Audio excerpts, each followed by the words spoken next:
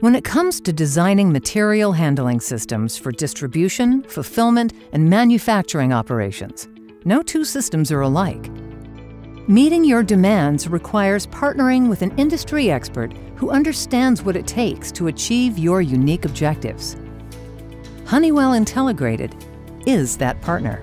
Our expert engineering and project management teams work closely with you to design a system using the ideal mix of automation, software, and labor.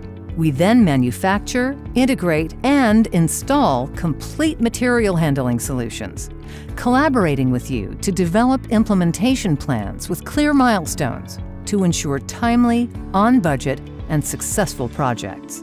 With more than 15 engineering locations, 850,000 square feet of manufacturing space, and a reputation for exceptional project execution, we have the resources and experience to solve your toughest material handling automation challenges. Our mechanical, electrical, controls, and software engineers address every aspect of system design to develop and deploy innovative automated solutions that give customers a competitive edge.